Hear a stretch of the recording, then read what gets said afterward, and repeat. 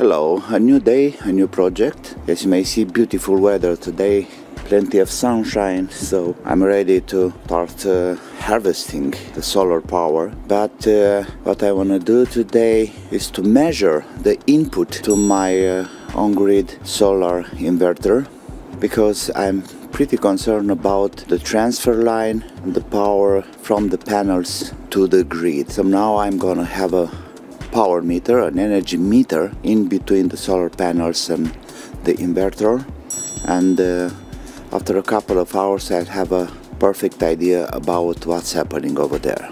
Yes, and the temperature outside is around 2 degrees. It will be a perfect day for solar panels. Here is the connection from the solar panels down to the inverter and in between I'm gonna have this energy meter. It's a PZEM 015 so I'm gonna have a very clear idea about the powers in and out. This one is able to have to pass 50 amps of uh, current so there is no problem handling uh, around 24 25 like I'm gonna have from the panels. Okay so let's put it on Okay, so we already have power on here. We have 44.1 volts already. Strong wires over here. So the power transfer is not the problem. Why I'm doing this? Because I'm concerned about the rendement of this machine. I to have a clear idea about how much power it's getting. You can see how to reset all these commands in a tutorial I had before. You have the link up there on the right corner. Okay, here we are. So everything is on zero now here. 44.5 volts in. And now it's time to connect the inverter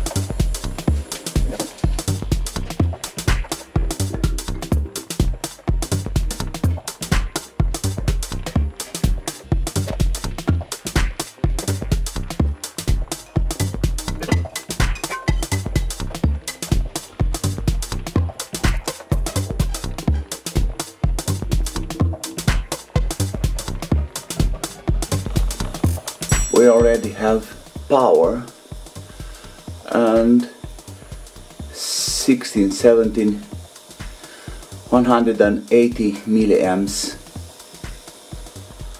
But the inverter it's working. It's on and we have like 40 watts of power going out. Well the sun is not exactly on the panels but it will be soon.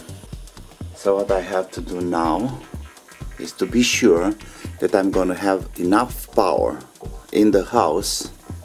I'm gonna have an extra heater or something to to have it busy you know because this is a inverter with limiter. This is the power now I'm using in the house one kilowatt. So let's say if this one goes down to 200 watts then the general power over here when the sun will be up is going down to 100 kilo uh, to 200 watts. So I'm wasting a lot of solar power because the house itself doesn't have a consume or enough consume. Uh, today I'm gonna push it to the limits. So I'm gonna have an extra charge. I'm gonna have a heater running with uh, at least one kilowatt per hour so this one will work at the upper limits. Then we have a very clear idea about how much power gets in from the solar panels and how much power goes out to the grid. Okay so now it's uh, around uh, 20 to 10 20 minutes to 10 so I'll be back. So uh, finally it's 12 minutes past 10 and I have full sunshine in the panels. These panels are 950 watts. Of course, I'm not expecting this power because I know this is a lab controlled uh, environment power measurement, so it's not uh, what's happening on the field in real life. But for now, I can say that the inverter it's delivering 632 watts. That's the output, the, the power going to the grid. So I'm gonna have it uh, really charged, if I may say, uh, because uh, I'm gonna have this heater all the time connected. So that means at least 1000 watts per hour of consumption and that's to be sure that the inverter is running on full power or let's say how much it can deliver from the panel to the grid and uh, I'm waiting for a couple of hours to see the results.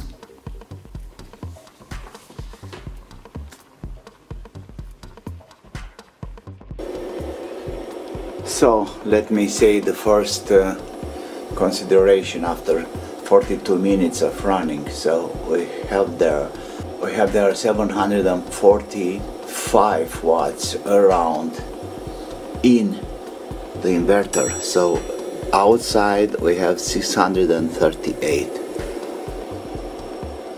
That's the in and that's the out. Almost 100 and something of watts difference. 20 amps in 35.9 volts in over there and 34.6 here on the display. And now I have a total consumption in the house of 700 watts and 600 so 1.3 kilowatts or something anyway. So let the things running for a while. Okay so I have uh, 950 watts of panels. That's delivered now in uh, in full sunshine and almost perfect orientation. Looks there and uh, outside it's pretty cold also. So now it delivers easily 750 watts.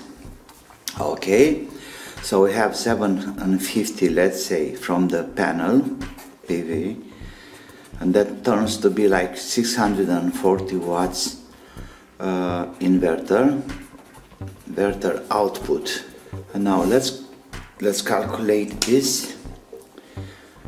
Uh, so we have 640 divided by 750 so that, that gives a, a random 85 and that's pretty okay. Uh, the machine advertised maximum 95% conversion. But let's wait the final results. So here we are middle of the day supposedly maximum power 780 let's say watts into the inverter a current of 22.8 amps so I think this is the maximum. The panels can deliver. Outside it's still cold. Let me see. So we have 6 degrees. That's perfect weather for the panels. So again 788 790 watts. Okay and the inverter is delivering 678 watts output power. Less than two hours we had like 1.2 kilowatts already. So I almost reached a point of 700 watts over there. You see the you see the graphic? Yeah. So I'm really glad about this 784 uh, oh uh, it's a pretty good number and I have to wait the end of the day. And there it is my assistant, Mr. Tommy the kid. Thank you. Same story here, 781 watts and 672 output. Middle of the day, let's check some panel temperature. So we have 40 degrees Celsius or 105 Fahrenheit. 35 on this one. 97 Fahrenheit. Okay.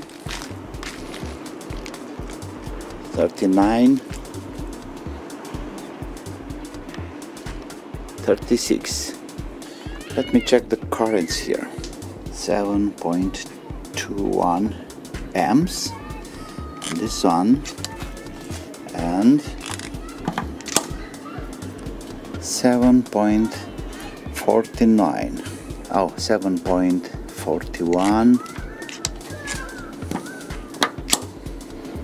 7.43 they are working the same what about this one here 8.15 so I got this one. With 7 6 8 4 yeah. They're the same. Yes it's almost 2 o'clock. Let's see what we still got here. So the panels are running with 580 watts. We already gain 2.86 kilowatts from the solar panel. This is the power from the solar panel in 4 hours and 15 minutes 82.2 amps and let's see the inverter. So this one delivers now 493 watts to the grid like I said before I kept the inverter very busy today so there was always a extra charge and these are the results for 2 o'clock. Okay, so here we are at the end of the sunny day, I may say. 4 o'clock in the afternoon, so the sun is gone. So uh, we have a harvest of 3.23 kilowatts of uh, solar power. So we have uh, 3.3 kilowatts from the solar panel and we gain around 2.76 kilowatts out from the inverter. These are the numbers for today. Okay, so here we have some final results. So we got the time here, we got the income uh, harvested energy, that's the solar panels in over here. Then I have the instant solar panels power and then the instant inverter output power and that's the export AC, the final export AC. But here is the sun situation and of course efficiency. Okay, let me start with temperature first of all. It was between 2 degrees and 6 degrees in the afternoon. So it was a pretty cold day I may say. So I got here at 9 o'clock the sun was up almost up and I uh, connect the energy meter and it was only uh, 48 watts from the solar panel in. The power outside was 40 watts so we have a 83% efficiency. 1022 full sunshine already gain in uh, 42 minutes let's say already gain 200 watts hour. That's the income. The energy from the sun already in 42 minutes. We have a instant power of 743 and an instant inverter output of 638 watts and we have a 85% efficiency 12 o'clock in the noon 1.5 kilowatts are already in 785 watts instant power. That's kind of pick up the solar panel power. 679, 680 instant power out, 86% efficiency.